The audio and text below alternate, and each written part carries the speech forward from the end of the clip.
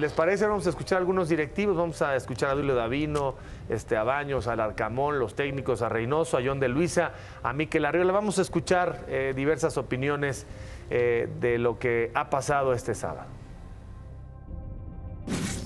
Estamos profundamente consternados y enfurecidos con lo sucedido en el Corregidor, Corregidor en la ciudad de Querétaro. Nuestra solidaridad para con las familias de las personas heridas el día de hoy. Respeto a todos ellos, hoy no daremos eh, rueda de prensa. Ojalá se investigue a fondo lo sucedido y no se repita. Hoy es un día triste para el fútbol en México. Con su permiso. Buenas noches. Buenas noches. Un hecho que, no sé en qué va a terminar, pero que es irrecuperable sin lugar a dudas para todas esas familias, que, lastima, lastima eh, la concurrencia a los estadios de una manera que, hay que, que hay que erradicar y de mi parte, en nombre del equipo, eh, hacerle entender a la, sociedad y, sobre todo a la sociedad latinoamericana eh, que muchísimas veces nos, nos hacen creer de que el fútbol es debido a muerte y el fútbol es, como se dice, lo más importante de, lo menos importante. Mucha gente puede pensar hoy que es un día triste para el fútbol mundial, para el fútbol mexicano. No nos confundamos. ¿eh? Es un día triste para el país. Me parece que esto ya pasó en otras latitudes y como que el mensaje no me queda claro. Habría que revisar cada quien en qué postura estamos, porque tiene la impresión a veces cuando uno ve redes, ve algún reporte, etcétera, que el fútbol es debido a muerte. Y el fútbol es ganar, perder y matar. Entonces, cuidemos el mensaje Creo que hoy regresamos a la época de barbarie.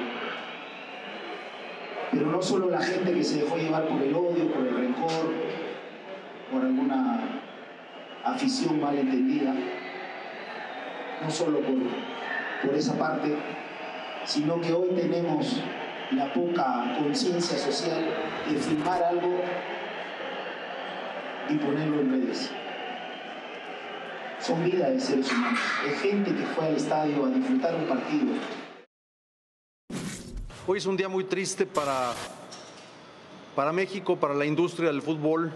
Eh, un día donde hay que hacer un examen de conciencia eh, general, directivos, jugadores, cuerpos técnicos, árbitros, medios de comunicación, aficionados, todos juntos, pensar qué está pasando, y tratar eh, en la medida de lo posible de, de reflexionar, diría yo. Eh, lo que ha sucedido el día de hoy entristece no solamente a la industria del fútbol, sino yo creo que a todo México.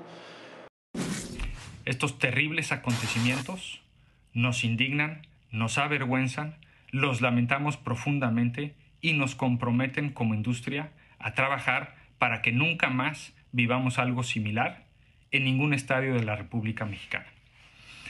Al aterrizar, he tomado la decisión de regresar a México para estar presente en la Asamblea de Dueños del próximo martes, así como en los trabajos finales de nuestra comisión disciplinaria.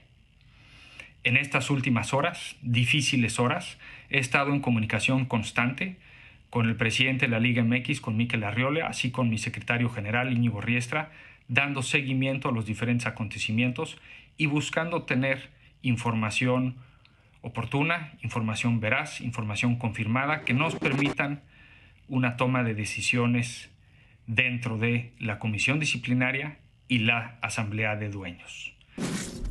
Pero pondremos más énfasis en qué va a pasar con los grupos de animación, cuál es el estatus actual, cuáles son las relaciones que tienen los clubes con sus diversos grupos de animación y cómo podemos cerrar con acciones contundentes esos espacios de colaboración.